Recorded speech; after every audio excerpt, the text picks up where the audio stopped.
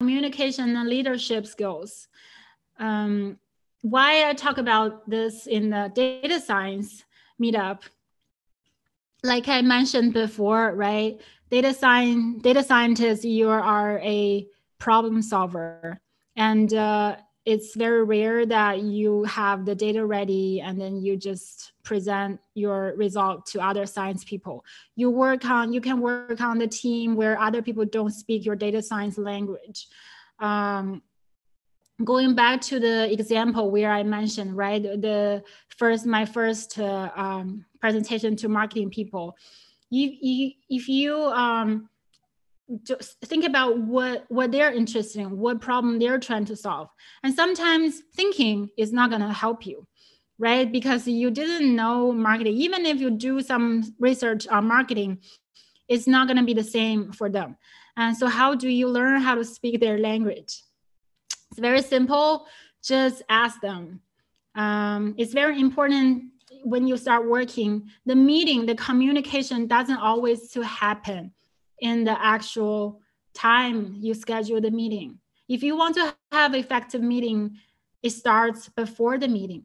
So for example, you can search who are the uh, key stakeholders in this meeting.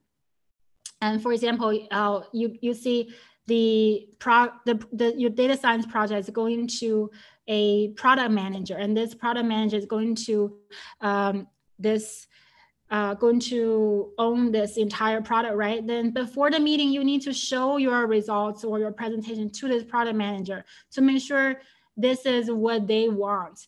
And if they have questions, you can explain. Um, or maybe they're confused. Uh, great. That means you get some feedback and you can change your uh, presentation or your documents earlier.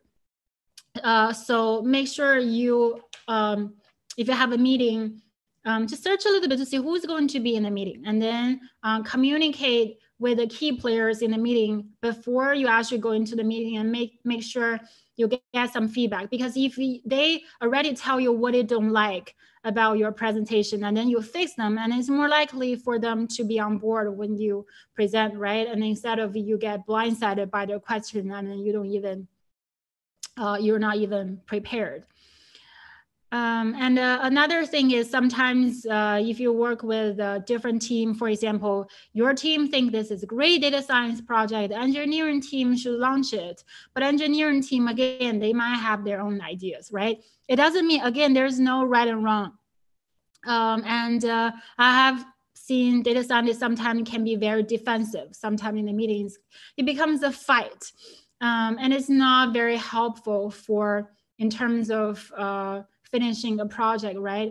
I would say instead of feeling uh, defensive, because again, like we all work very hard on a project, especially when we think about how much data we have collected, the pipeline they're building. Um, if they have pushback, try to understand why they are pushing back. Is it because um, it's not their priority? Is because they don't have uh, enough people to help? Again, um, if um, is there something your manager can help you resolve this issue? And if you're in a meeting, uh, you're the only person invited to the meeting, and then the other team's manager or senior principal engineer in the meeting, and you know you might get pushed back. And what do you do? You, you no matter how much you prepare, if you're a, a junior data scientist, it's very hard for you to um, convince them, right? Um, Oh, I, I don't mean you can't, but it, it will be hard. So at that time, you need to have some sponsors from your team. You can just ask your manager, hey, well, uh, they invited their senior manager to the meeting, and I'm the only one on the team. I believe this is an important project. I want to get this launched. Can you come to the meeting with me?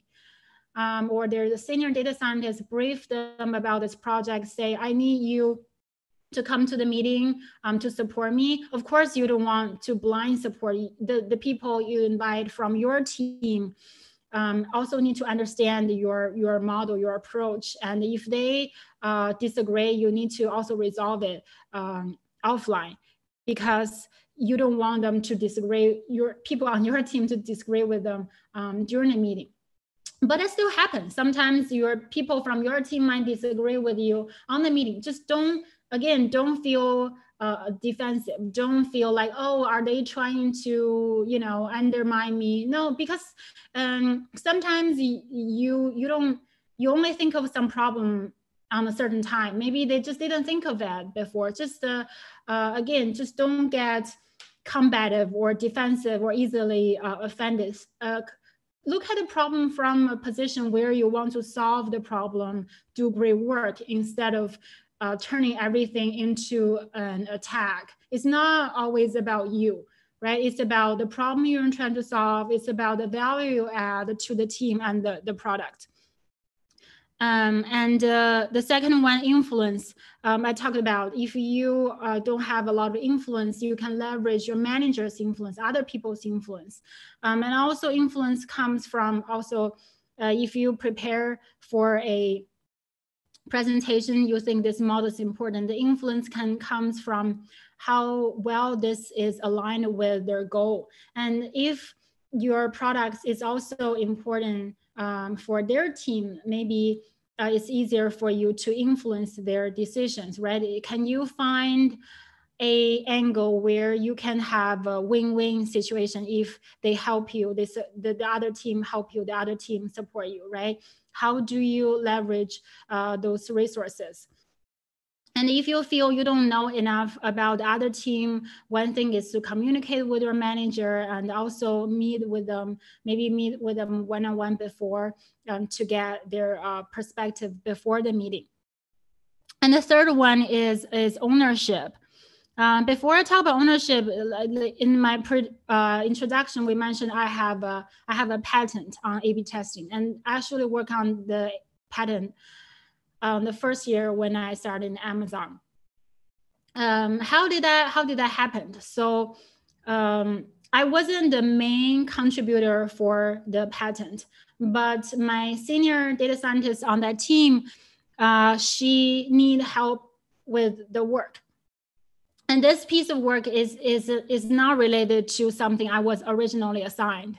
So I could totally say, oh, I don't want to do that because it's it's outside of my scope. I can, you know, just uh, push back. Um, but because I just started, I think when you started, um, it's hard to uh, know what is important, what is not important, when to say yes, when to say no. Um, maybe I would suggest uh, try to say more yes when you just uh, started. I know um, a lot of people saying, oh, if you say too much yes, um, that could be a lot of work or um, you you will get lost in priorities.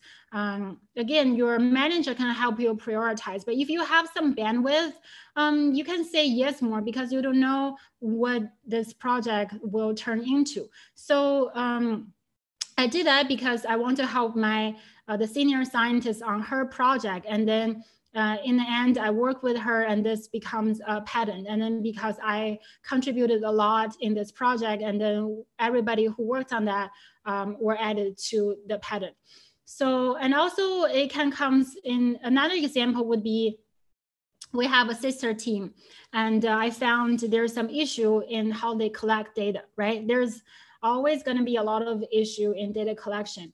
Um, so what I can do is I can just say, hey, there's an issue in your data and then I just leave it to them.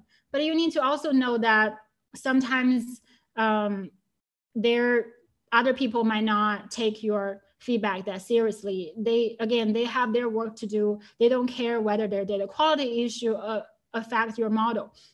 So what I did was I believe the data quality issue was very important to fix. So I work with them closely. I said, okay, like if you don't have time, I can have time. I can work on this. I can help you figure out. Again, I'm not engineer on that team. Um, in the end, I still need their help to implement the uh, the change of the bug I found, but I can be a investigator to find where is the bug. Is this the data science work you learn in school? Is this some type of fancy modeling? No, it's not. I was simply an investigator. Um, again, this tie back to the importance of problem solving because this is important to ensure high data quality. So I help them solve the problem and because it's not a high priority, but a bug is still a bug. And then the other team was very appreciate my work there. And then they also gave great feedback to my manager. So a lot of people um, when they think about project, they just want to do their own thing. They get annoyed when other people ask them for help. Um, I, I sometimes feel that way too. Like I, I have my own project and who's gonna help me? And then this is going to be uh, up to you to find a balance between completing your own priorities, not get burnout, but also uh, if you think about your entire work, as a uh, portfolio, right? If you are investment portfolio, what we want to do, we want to um, allocate asset, we want to diversify, we want to mitigate the risk, right? Because sometimes one data science project is it's possible that it won't yield into any results. Um, it's it's totally possible. Maybe some other project you invested in actually have good results.